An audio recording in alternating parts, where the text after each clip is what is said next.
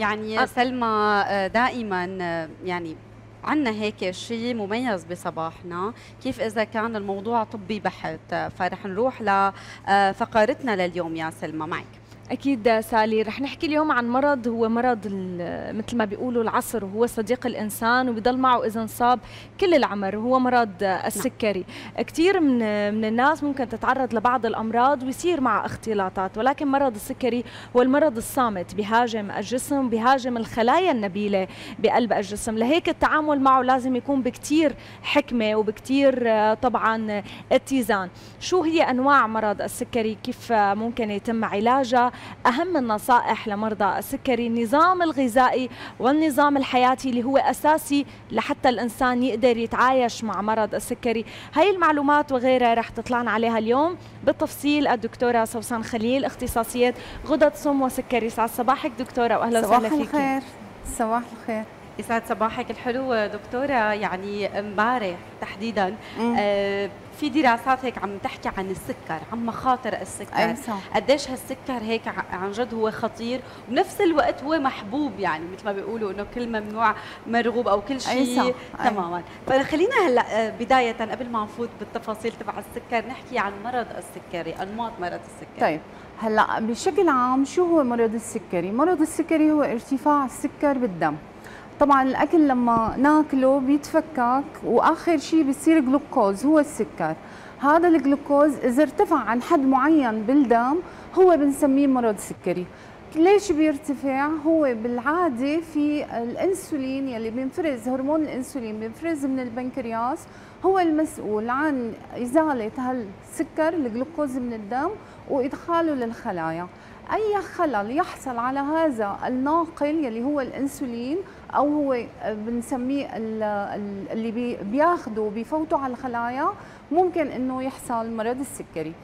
آه، بشكل بسيط إذا ما عاد عنا بجسم الإنسان إنسولين ابدا يعني تخرب كامل للبنكرياس. هذا بنسميه بقى السكري النمط الأول يلي بيكون متخربه البنكرياس بسبب مناعي أو التهابي أو أي شيء ثاني فيروس أو شيء بينما إذا كان في إفراز للإنسولين طبيعي أو فوق الطبيعي ولكن هالإنسولين ما عم يشتغل صح ما يعني في مقاومة على مستوى الخلايا هون دخلنا بشيء اسمه مقاومة الإنسولين أو النمط الثاني من السكري. طبعا في أنماط أخرى وراثية وأنماط السكري آه، الحملي اللي بتجي تحت بند السكري الثاني وإلى آخره ولكن هي باختصار. نعم. طيب دكتورة خلينا نعرف كيف الأشخاص بتبلش تميز؟ يعني يمكن العوام بشكل عام بيقولوا أنه صار يشرب مي كتير ويدخل على الحمام كتير أنه هدول المؤشرات الأساسية. هل في مؤشرات آه، تانية اختبارات معينة لازم الإنسان يعملها؟ وشو التوقيت لهالاختبارات؟ هلأ نحن السكري بالدم المفروض ما يرتفع عن حد معين. 180 مجرد ارتفع عن 180 هي اسمها العتبة الكلوية وقتها رح ينطرح عن طريق البول ورح ياخذ معه المي رح يصير تجفاف. أول عرض بحس فيه المريض إنه عم يروح على الحمام بسبب إنه عم ينطرح الجلوكوز بالبول وعم يروح معه المي فإذا رح يروح كثير على الحمام هي أول عرض هو البوال. ثاني عرض بيتجفف المريض بيقوم بحس إنه بده مي بصير بيعطش كثير هي اللي الناس كلها بتعرفها إنه هذا. ولكن هالأعراض بتحصل فجائية عند وقت المرض النمط الأول. النمط الأول عند الشباب لما تخرب البنكرياس بشكل بسبب ما وقتها فجأة بتلاقي صار يروح على الحمام كثير طبعا آه، طرح الجلوكوز رح ينقص له وزنه يشرب كثير وبيفوت بحماض وبيفوت بمشاكل كبيرة. أما النمط الثاني بنسميه الصامت أو المراوغ. ليه؟ لأنه ما وصل على العتبه الكلوية. يعني ارتفع لل 126 لارتفع لل 130 نحن الحد 126 ال cut-off point هي هي الحد الفاصل بين الطبيعي هو ال 100 100 لل 126 بنسميه ما قبل السكري. فوق ال 126 هذا السكري. لما يكون 130 ولا 140 هذا ما رح يعمل لنا بوال. يعني ما رح يروح على الحمام لأنه ما تتجاوز العتبة الكلوية. فاذا رح يضلوا صامت.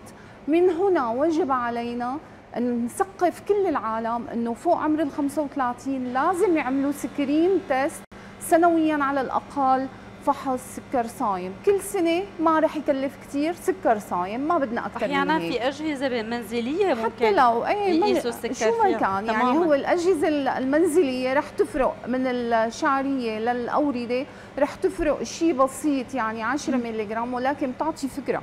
لما آخذ بالجهاز المنزلي يطلع فوق ال 100 بروح بحلل بالمخبر. أوكي بس كثير ضروري. نحن عملنا حملات طبعا برا وهون إنه سنويا نعمل حملات بمناسبة يوم السكري العالمي مشان نعمل screen test لكل العالم ونكتشف السكر مبكرا. دكتورة فوق ال 100 يعني 105 بيكون لازم فحص. لازم ن... لازم نكمل البحث. يعني فوق هو ال cut-off point 100 حتى لو 105 بنروح بنعمل وقتها خضاب السكري السكر بعد ساعتين. طبعا تحليل واحد لا يكفي. تمام. وإذا طلع لل 220 هون أمام خلص 220 فوق ال 126 هذا سكري صريح. ولكن مثل ما عم أقول لك لا يكفي تحليل واحد. دائما بنقول بنحط اختباء احتمال خطأ مخبري. بنعيد التحليل مرة ثانية أو بنعمل شيء اسمه خضاب السكري أو مخزون السكر. هذا لازم يكون 5.7 تحت ال 5.7 الطبيعي. 5.7 ل 6.4 ما قبل السكري فوق الستة ونص هذا سكري. نعم. نعم. طيب دكتورة كيف بنعرف إنه آه، في بعض الأشخاص بيقولوا زعل فجأة صار معه سكري؟ مزبوط هذا الحكي؟ ممكن إنسان يزعل يصير معه سكري؟ هن كثير بيحبوا هي اسمها الأسقاطات يعني البني آدم نفسيا بحب إنه يسقط شيء على شيء طبعا هذا آه، الرعبة هي عبارة عن stress ال stress بتزيد إفراز هرمون الأدرينالين والكورتيزون. هدول الهرمونات معاكسة لهرمون الإنسولين. فاذا هي بتستحدث سكر بيطلع السكر ولكن الشخص اللي ما عنده استعداد سكري ما رح يصير عنده سكر. إمتى بيصير السكر؟ إذا عنده استعداد سكري أو كان في مرحلة ما قبل السكري.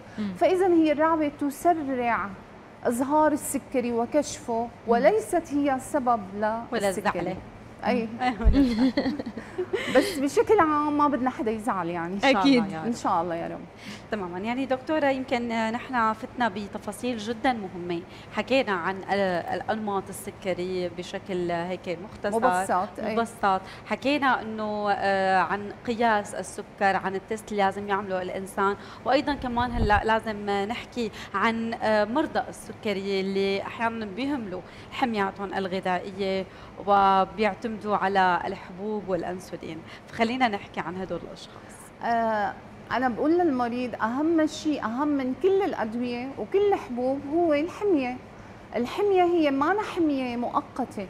يعني كله بيسالوا إنه مثلا رح نعمل شهر وبس يزبط بنتركها لا هي اسمها lifestyle modification تغيير نمط حياة. أنت كنت متعود إنه تحط سكر بالشاي متعود تاكل حلويات هي بدك تبطل العادات. الحمية السكرية كمان بشكل عام تعتمد على نشويات 60 50 ل 60% يعني أنا لما يجيني مريض بسالها ولا مريضة بسالها إنه أنت عاملة حمية سكري من 20 طبعا أنا ما باكل رز. ما له علاقة الرز؟ طبعا لازم ياكلوا نشويات. الحمية تختلف من شخص لآخر. يعني أنا لما ألاقي آه، مريض type 2 نمط ثاني وعنده آه، آه، وزن زائد بدي اعطيه حمية كثير قليلة النشويات. يعني النشويات بدها تكون كثير قليلة مثلا خبزة نخالة الصبح خبزة نخالة المساء الظهر يفضل ما ياخذ نشويات. بينما إذا كان وزنه معتدل مثالي أو نحيف بنعطيه حمية غير. إذا كان عم يتحرك كثير مثلا عامل بناء ولا عامل بشكل عام له حمية أكثر بنعطيه أكثر من 2500 كالوري. بالنسبة على الوزن. بينما إذا كان قاعد بمكتبه ولا قاعد ببيته بلا شغل هذا بدنا نخفف له الحمية. يعني الحمية تختلف بشكل عام من شخص لآخر ولكن المبادئ هي وحدة إنه ما نأكل سكر بسيط سكاكر بسيطة مثل السكر السكر المائدة أو الحلويات. بينما في نشويات عنا النشويات بتعتمد على الحبوب الكاملة مثلا الخبز الأسمر مو الأبيض. صبح ومساء وبناخذ مثلا الظهر شوية برغل أو رز مع طبخة البيت، طبخة البيت يلي تبعنا هي أحسن طبخة مثلا أحسن حمية بيسموها حمية البحر الأبيض المتوسط، إنه بنحط خضار وكثير وبنحط لحم قليل آه، أو دجاج قليل أو حلو. سمك طبعا. وبنحط معه مثلا الفتوش اللي فيه خل اللي فيه زيت زيتون هذا كله مفيد. هذا حمية البحر الأبيض المتوسط. آه في شغلة ثانية بيقولوها بيعتمدوها بعد الحميات هي المشعر السكري. المشعر السكري هو بالنسبة للكربوهيدرات أو النشويات إذا أخذنا الكربوهيدرات بعد ساعتين درسوها قد إيه ممكن ترفع السكري. وفي ناس بيعتمدوها إنه مثلا البطاطا بترفع كثير مثلا نعم. الخضر ما بترفع كثير فاذا الخضر أحسن.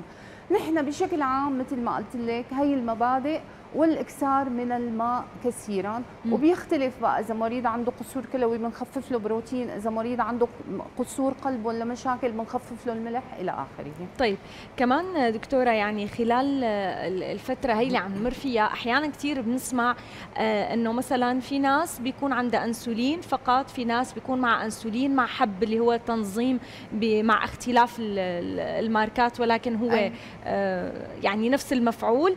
آه، بيقول لك والله أنا اليوم أكلت زيادة رح ازود حبة. أنا أي. مثلا دكتور كاتب لي حبة على الغداء رح آخذ حبة على الغداء وحبة على العشاء. أو أنا مثلا جرعة الأنسولين تبعي 30 وحدة رح أحط 32 لأنه العشاء اليوم متسم. طب هذا التلاعب أنا كيف بقدر أعرف إنه هيك صح أو غلط؟ وهذا الشيء ممكن يأثر لبعدين. جرعة الأنسولين كل قديش بتنقاس يعني أنا أي. كل قد بغير جرعة الأنسولين؟ كل قد بغير جرعة الحب؟ هدول التفاصيل اللي الناس مع الوقت أي. ما بيصير لي شيء حبة اليوم زيادة ما رح تعمل شيء هريسة طيبة الكنافة طيبة. إيه تمام. أي. أو اليوم بروستد بدنا ناكل فبنزود حبتين. هلأ نحن بدنا نوصل لنقطة إنه هي مو عقوبة. يعني أنا ما عم اعاقب المريض بقول له ما حرمان. ممكن يهرب له إذا كثير اشتهى قطعة بس هذا إمتى بيصير؟ وقت نضبطه ضبط جيد بينما مريض عنده 300 سكري لا. اي اي مكافاه عن جد. ولكن مريض عنده 300 طبعا قطعا ممنوع. هي شغلة. الشغلة الثانية أنا نسيت أقولها. أهم شيء بالسكر هو النظام والانضباط. إنه ناخذ ثلاث وجبات للمريض السكري الثاني بنضيف عليها سناكين لمريض السكري الأول أو ثلاث سناكات هي وجبات خفيفة وخاصة قبل النوم مشان ما ينخفض السكر. وجبة اليوم الساعة 7 الفطور بكرة الساعة 7 وجبة اليوم رغيف نخالة بكرة رغيف نخالة.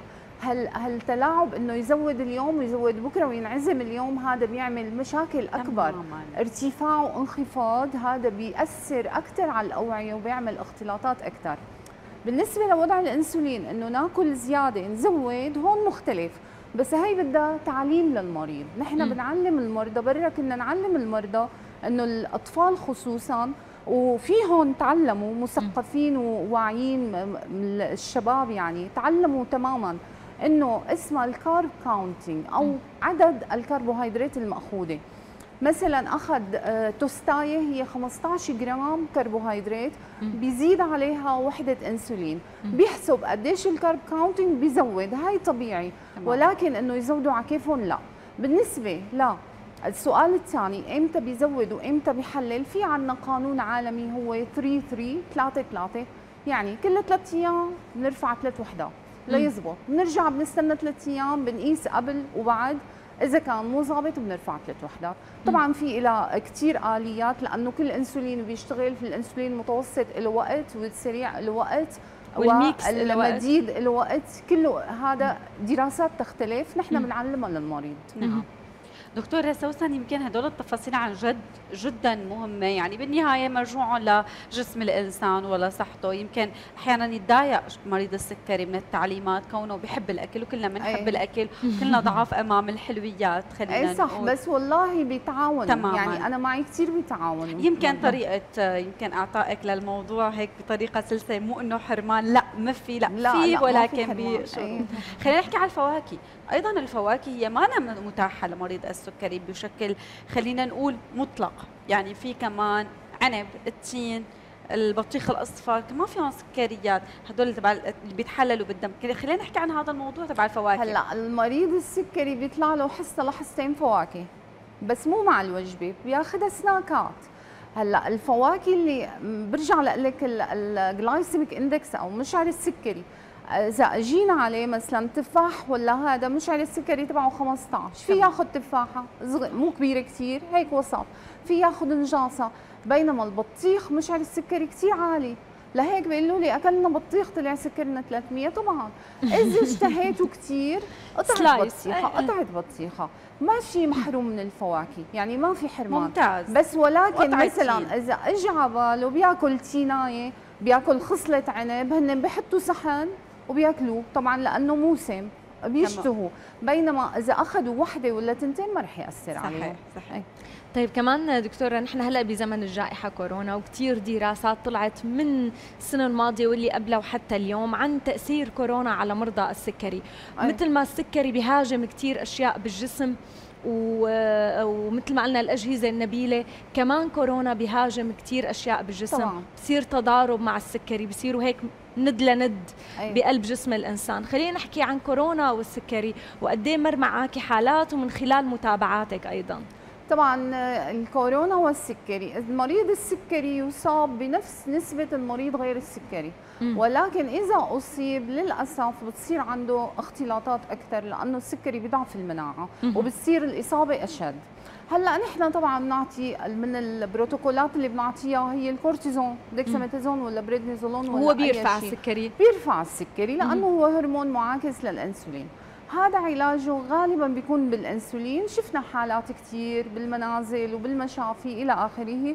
هاي الحالات كان عندها سكري وأعطيناها إنسولين وتحسنت والحمد لله شفيت من اعمارهم 80 سنة. ما في شيء بخوف. إذا أخذنا العلاج صح وإذا تابعنا الحمية صح والتزمنا ما في شيء بخوف وبيطيب. Okay؟ هلأ الدراسات الجديدة سلمى اللي تفاجئ إنه دلتا المتحور دلتا عم يعمل سكري انه لقوا انه بعد الاصابة بفيروس كورونا زادت نسبة الاصابه بالسكري 40% من اللي صار معهم دلتا صار معهم سكري. أه. قالوا إنه ممكن إنه يكون عم يهاجم البنكرياس مثل ما قلتي إنه يكون حتى آه، بيعمل النوع الأول يعني ممكن إنه يصير يحتاج لإنسولين. هذا المشكلة يلي هاي. بينما مريض السكري إذا صار معه كورونا إن شاء الله بإذن الله ما بتصير مشكلة. إذا تتابع بشكل صحيح. نعم. يعني دكتورة يمكن تفاصيل جدا مهمة وهلأ كل اللي عم بيتابعنا إن شاء الله آه، يقدر يخزنها هيك ويستفيد منها. أيضا خلينا نحكي يعني آه، كثير من الأشخاص آه، أحيانا مثل ما بيقولوا بتفلت الحميه الغذائية بيكون وضعها مستقر ولكن بهيدي الفترة بضل مستقر بعدها بيتفاقم الموضوع ويمكن يتحول لمخاطر ثانية قديش مهم الحفاظ على سوية الغذاء؟ يعني حتى مثلا لو سافر الشخص لو طلع لبرا لو انعزم خلينا نقول. أي. خلينا بس إنه نوضح قد إيه الحفاظ على السوية والتوازن هي لاستقرار جسمه. طبعا هلأ المريض السكري أنا اللي بتفاجئ فيه إنه لسه ما في ثقافة عند كل العالم مو بس عندنا هون. أنا كنت برات البلد عند كل العالم ما في ثقافة إنه آه، بيعتبروا إنه عيب يقولوا سكري. يعني بيروحوا على عزيمة لأ عيب رحت على عزيمة وضيفوني ضيفوني ضيفوني. بيطلع على المشفى بيطلع على المشفى صدقا. يعني بيطلع سكره فوق الألف أحيانا وبيطلع على المشفى هدول النمط الثاني. ما في عيب إنك تقولي أنا معي سكري وما باكل وكذا بالعكس يعني هي الشغلة من رب العالمين. يعني أحسن من غيره له علاج. أنا معي سكري لو سمحتوا مثلا سلطات كذا. أنا اللي بختار غذائي. هلأ إذا المريض اقتنع إنه هذا الغذاء ولا هذا ال lifestyle modification لصحته كثير حلو. هلأ في ناس عم تتبع الإقلاع عن السكر وما عندها سكري ليه؟ لأنه السكر أساسا مضر. هو مضر. فإذا مريض السكري بده يقتنع بهالقصة إنه هذا حتى لو ما عندك سكر أفضل لك إنه تعمل حمية متوازنة بعيدة عن السكر السكاكر البسيطة وتمشي بغذاء صحي وتشرب مي كثير إلى آخره. نعم. أكيد. والأهم دائما يمكن الرياضة. يعني دائما بنسمع إنه المشي هو أيه. أكثر شيء مفيد. ما عن الرياضة. الرياضة حسب ال guidelines لازم م. عالميا لازم يمشي على الأقل. هي أضعف الإيمان بنقول. على الأقل خم... نص ساعة يوميا لخمس أيام بالأسبوع. هذا على الأقل. هذا م. على الأقل. ها الأكثر أحسن. هذا م. يوميا. لأنه طبعا lifestyle modification هو من شطرين التغذية والرياضة. يجب على مريض السكري إنه يتحرك نعم. القعدة بالبيت طبعا بتأذي كثير. حتى لو بالبيت في كثير كبار بيقولوا لك أنا ما بقدر أطلع تمشوا بالبيت طلعوا أو يعمل رياضة اللي هي الرياضه الفيزيائية العلاج أي, الفيزيائي. اي رياضة بالمنزل معلش نعم. ما في مشكلة. دكتورة نعم. أسئلتنا ما خلصت بس لكن وقتنا خلص نحن كثير استمتعنا بوجودك معنا وأكيد حيكون لنا وقفات ثانية مع الدكتورة سوسن في أسئلة كثير حابين نسألها.